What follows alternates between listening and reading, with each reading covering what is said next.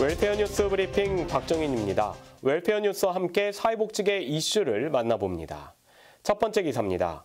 매년 한국장애인단체 총연맹이 전국 시도별 장애인 복지, 교육 분야 비교 분석 결과를 내놓고 있는데요. 전국의 시도장애인 복지 분야 종합 점수가 전년도에 비해 20% 이상 크게 하락한 것으로 나타났습니다. 물론 모든 지자체가 평균 이하의 점수를 받은 것은 아니지만 장애인 복지 수준 향상에 대한 지자체의 관심과 노력이 상당히 요구된다는 점입니다.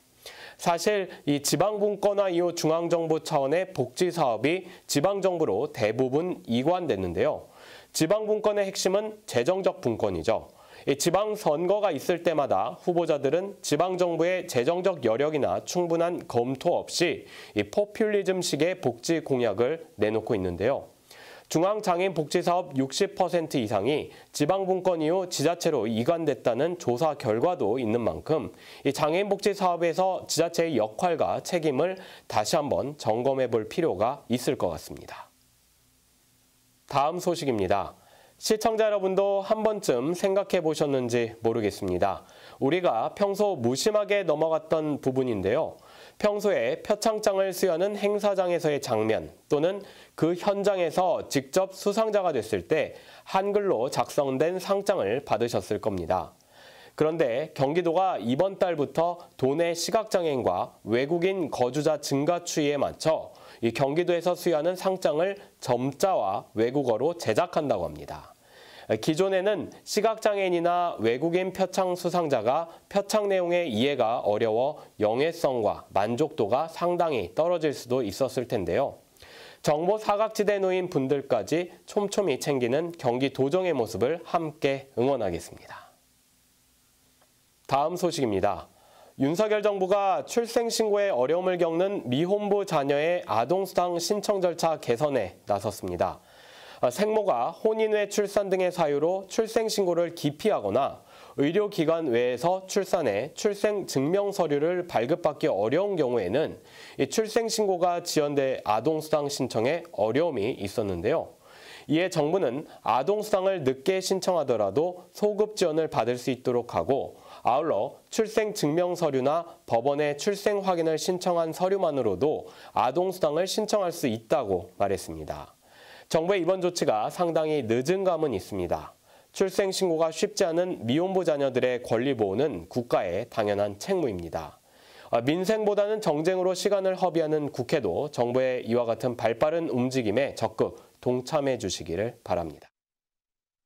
더 자세한 뉴스는 장애인 신문과 웰페어 뉴스 홈페이지를 통해 확인할 수 있습니다. 시청자 여러분 안녕하십니까? 복지TV 뉴스 24입니다. 각 분야에서 혁신을 통해 대한민국의 변화를 이끄는 change maker를 발굴하는 제4회 대한민국 change maker 시상식이 개최됐습니다.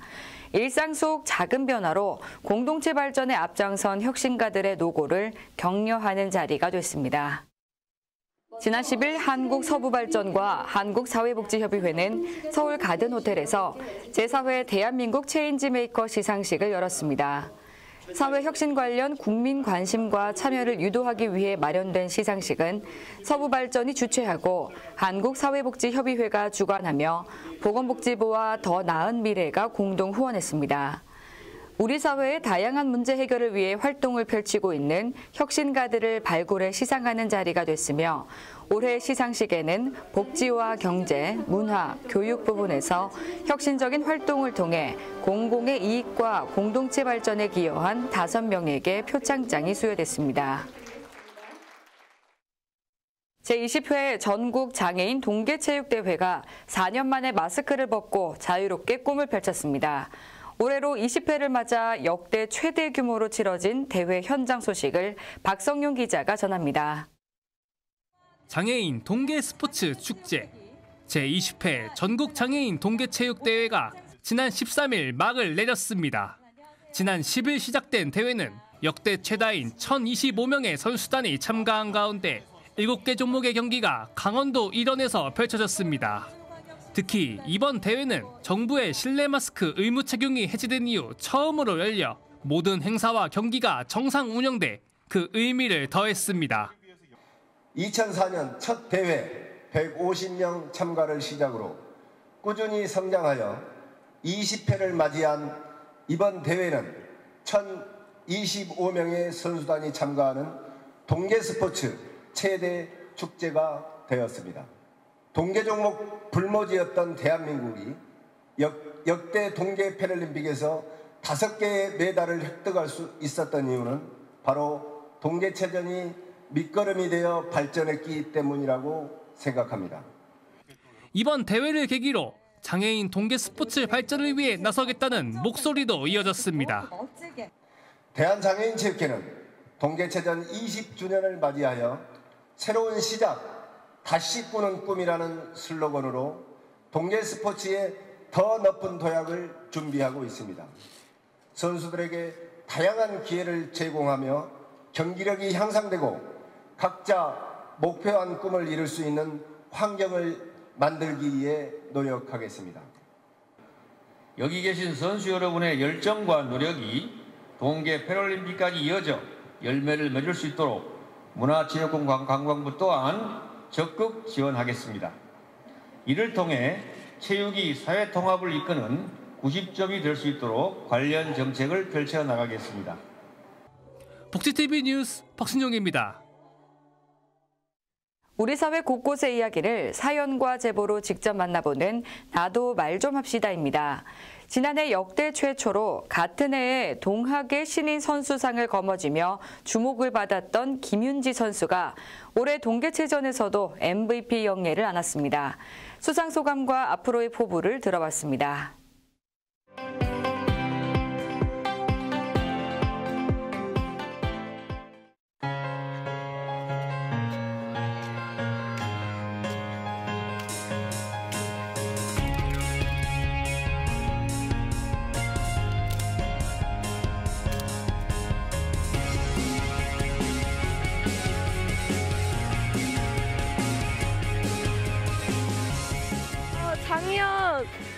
관심을 받아본 적이 처음이라 많이 부담도 되고 긴장도 됐었는데 또 응원받은 만큼 또 힘이 났던 것 같아요. 어제 엄마랑 통화를 했었는데 엄마는 다치지 말고 그냥 다치지 말고 건강하게 뛰고 오라 했는데 저는 잘할 거라고 그렇게 얘기했었어요. 어, 국내에서만 대회를 하다가 이제 해외로 가니까 몇십 년씩 한 저에게 엄청 잘하시는 선수들도 계셔가지고 어, 많이 발전해야겠다라는 생각이 들었던 것 같습니다. 제 목표는 항상 작년에 저보다 조금 더 잘하는 게 목표입니다. 열심히 제가 한번 볼 수 있도록 열심히 해요. 김윤지 선수의 당찬 포부와 열정을 들어봤는데요. 더 높은 곳을 향한 끊임없는 그 노력은 이번 전국 동계체전에서도 빛났습니다. 대한민국을 넘어 세계로 향하는 꿈을 박성용 기자가 만나봤습니다. 선수들의 열정이 가득했던 전국 장애인 동계체전. 이번 대회에서 뛰어난 기량으로 모두의 주목을 받은 선수가 있습니다. 바로 김윤지 선수가 그 주인공입니다. 2006년생인 김윤지 선수는 지난해 역대 최초 동일년도 동학의 신인 선수상을 따내며 화려하게 데뷔했습니다. 지난해 열린 전국 장애인 동계체전에서 노르딕 스키 3관왕, 전국 장애인체전에서 수영 3관왕을 따내며 다재다능함을 뽐낸 바 있습니다. 당시 수영 경기를 마치고 만난 김윤지 선수는 다양한 종목에 대한 욕심을 드러내기도 했습니다.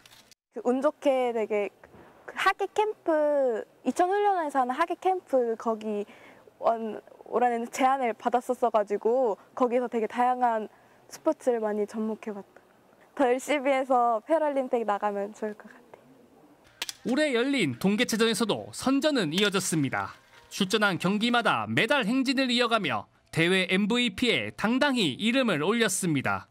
특히 지난 11일 열린 여자 바이애슬론 중거리 7.5km 좌식에서는 경기 중 3번이나 넘어지는 어려움을 겪었음에도 꿋꿋하게 일어서며 금메달을 목에 걸기도 했습니다.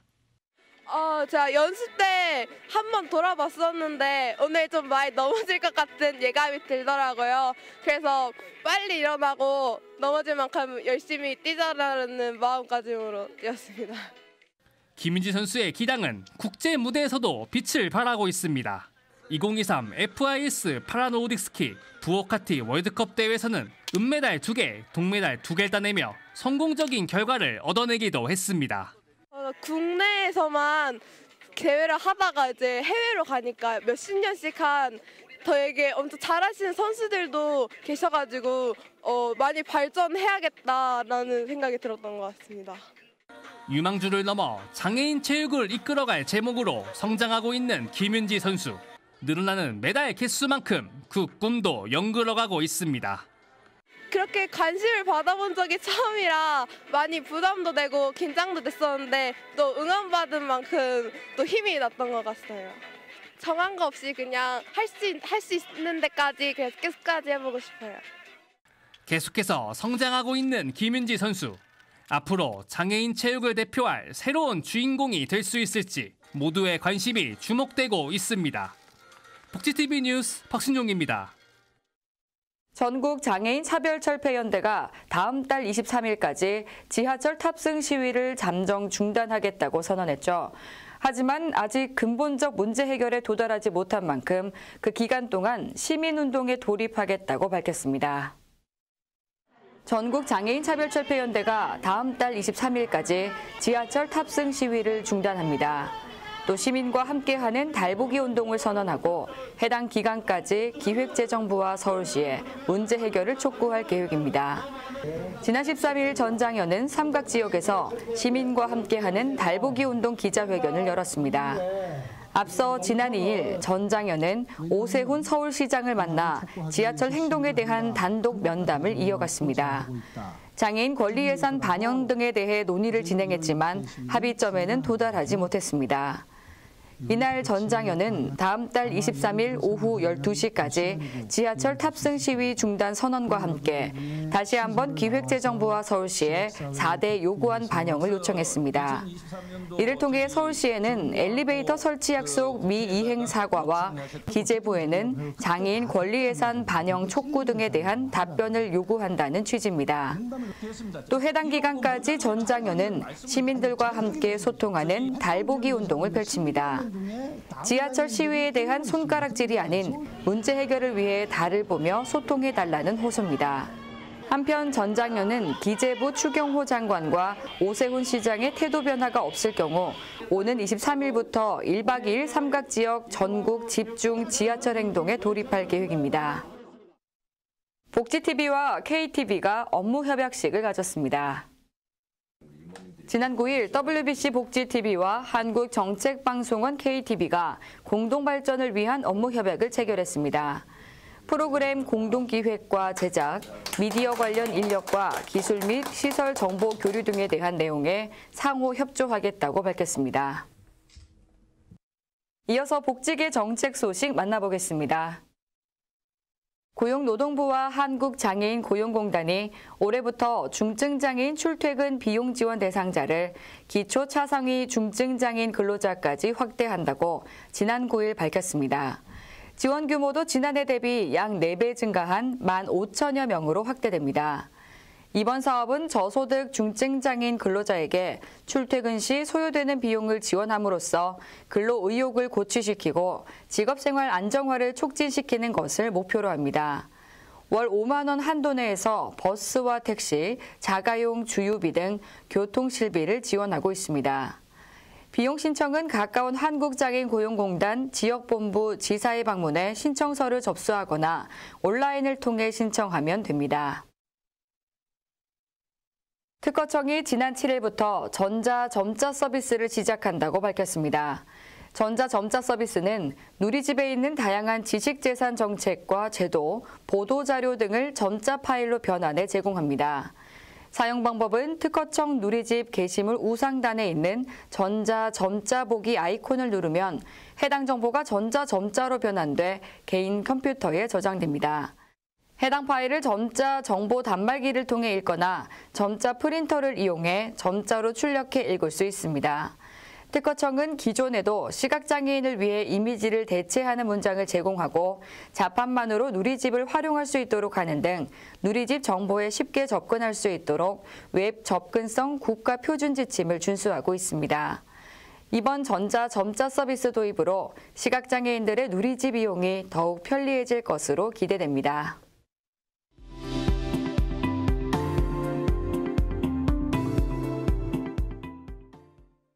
전남 여수시가 사회복지시설 난방 실태 점검을 통해 현장 상황을 직접 살폈습니다. 보도에 황영재 기자입니다. 전남 여수시는 지난 6일 에너지 가격 급등으로 어려움이 예상되는 사회복지시설 난방 실태 긴급 점검에 나서 현장을 직접 확인하고 의견을 나누는 시간을 가졌습니다.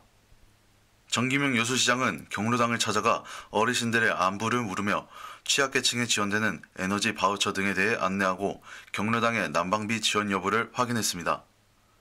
이어 지역아동센터를 방문해 난방 상태 등 운영 상황을 살피고 종사자와 시설 이용 학생들을 격려했습니다. 정 시장은 앞으로 사회복지시설의 난방 상태를 수시로 점검하고 시설의 복지 안정망 구축에 더욱 힘써 시민들이 시설 이용에 불편이 없도록 하겠다고 밝혔습니다. 여수시는 지난 1월 상암동 택배 분류장을 시작으로 매월 1회 이상 민생 현장을 방문하는 시장에 간다 여수 통통을 운영해 시민들에게 더 가까이 다가가는 소통 행보를 이어가고 있습니다. 복시TV 뉴스 황영재입니다. 자립준비 청년들의 안정적인 사회 진출을 돕는 희망 디딤돌 전남센터가 문을 열었습니다. 김정현 기자가 보도합니다. 전남 지역 자립준비 청년의 안정적 사회 진출과 자립을 지원하는 희망 디딤돌 전남센터가 지난 2일 문을 열었습니다. 희망 디딤돌 센터는 양육시설과 위탁가정에서 지내다가 만 18살이 돼 자립해야 하는 청소년들에게 주거 공간과 교육 등을 제공하는 시설로 전국 13개 시도에서 문을 열었거나 운영을 앞두고 있습니다. 전남에서는 이날 개소한 순천과 현재 개소 준비 중인 목포 두 곳에서 운영되며 각각 5층 건물에 자립준비 청년이 거주할 수 있는 생활관과 보호 아동이 자립생활을 경험할 수 있는 체험실을 운영합니다. 자립준비 청년이 미래를 향해 힘찬 도전을 하였으나 여러 가지 여건상 사회에 적응하지 못하고 다시 되돌아야 될 그러한 청년들이 있습니다. 일반 가정의 자녀들에게는 돌아갈 부모가 있지만 우리 자립준비 청년들에게는 돌아갈 집이 없습니다. 그래서 희망디딤돌 전남센터는 이들의 부모와 같은 마음으로 이들의 가정과 같은 역할을 하면서 다시 세상을 향해 걸음을 내딜 수 있는 준비를 저희가 하도록 하겠습니다. 매년 350여 명의 전남 지역 자립준비 청년을 지원하게 될 희망 디딤돌 전남센터의 개소가 홀로 서기를 준비하는 청년들의 첫 사회생활을 향한 디딤돌이 되어줄 것으로 기대됩니다. 복지TV 뉴스 김정현입니다. 제20회 전국 장애인 동계체전에서는 스포츠를 통해 설원 위의 질주로 많은 이들에게 감동과 기쁨을 선사했는데요. 대한민국의 위상을 드높이며 국내를 넘어 세계로 뻗어가는 장애 스포츠 선수들에게 지속적인 관심과 응원을 보내주시기 바랍니다. 이상 복지TV 뉴스 24를 마칩니다. 시청해주신 여러분 고맙습니다.